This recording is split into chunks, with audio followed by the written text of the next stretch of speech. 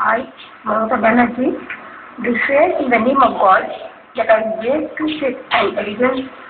to the Constitution of India as my law established, that I will uphold the sovereignty and integrity of India, that I will faithfully and consistently discharge my duties as a Minister for the Union, and that I will do right to all men and people